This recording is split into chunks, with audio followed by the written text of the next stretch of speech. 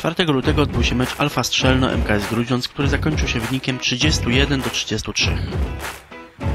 Ważne i cenne punkty zdobyli szczypiorniści grudziądcy w Strzelnie. Początek spotkania to lekka przewaga zawodników z Grudziądza, która utrzymywała się do 23 minuty.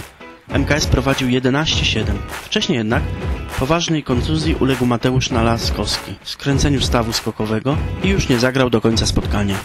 W ostatnich minutach pierwszej połowy grudziądzanie nie ustrzegli się błędów ataku, a ponadto grając w osłabieniu ułatwili gospodarzom doprowadzenie do remisu 12-12.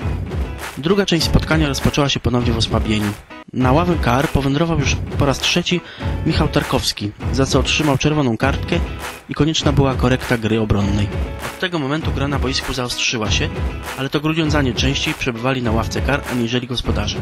Do 43 minuty utrzymał się remis i można było to uznać za dobry rezultat, ponieważ MKS grał dwukrotnie w osłabieniu.